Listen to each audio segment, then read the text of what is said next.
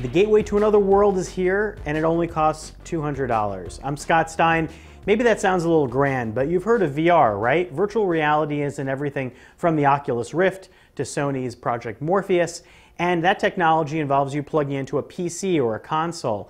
But you can plug into your phone as well. Google Cardboard showed that it could be done, and now here is the first one that you can really buy that's a rig. This is the Samsung Gear VR and is a $199 accessory available only in the US for now that works with just one phone, the Samsung Galaxy Note 4.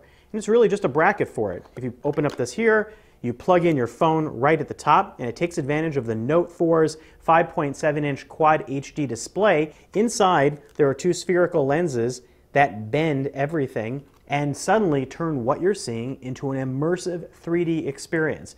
Now, what happens in VR? Well, imagine you put this on, and then suddenly you see perhaps a 3D concert, somebody playing a guitar, and you're sitting in their living room. You can look at them up, down, all around, it's everywhere, behind you. There's a built-in accelerometer that tracks head motion. It doesn't allow you to do full head tracking like some of the more advanced virtual reality rigs can, so you can't bend down and explore the space, but you can turn around in all directions like this and use a touchpad on the side to navigate or pair a Bluetooth controller to play games with. Right now on Gear VR, there are only a handful of apps, and they all run through an Oculus app that allows you to download the experiences. They're all free, and they range from games to panoramic photos and videos and immersive theatrical experiences what you feel like is that you're immersed in that space, but the experience is a little bit limited because even though the screen resolution on that phone is fantastically dense, when it's expanded out in virtual reality, you begin to see the pixels individually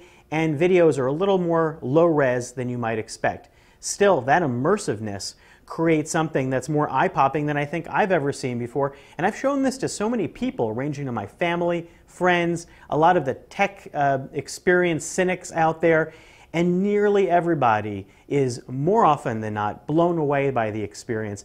And I can't think of anything since the debut, possibly of the iPhone, that's created technology so futuristic that everybody wants to line up and try it out. We don't know how many more apps it'll support down the road, but hopefully with the Oculus partnership, this is developed in, in collaboration with Oculus, that you're going to see a lot of stuff down the road. What you get for your $199 is you get this headset, you also get a micro SD card, 16 gigs, it's loaded up with some other experiences that you can put on it, and you get this carrying case. But if you have a Samsung Galaxy Note 4, this seems like a, a really good treat to yourself to just dive in and have fun with it provided you want to play around with VR. There will be a lot of virtual reality tech coming up in 2015 from a lot of different companies. New types of input, ways that you can reach out and explore. And this limited set may not fully go there, but it is an amazing first step. If you want to be in a virtual movie theater, swim in an aquarium, explore the solar system, play virtual arcade games that are floating in front of you, and more, the Samsung Gear VR is the first available, and right now it's definitely the best.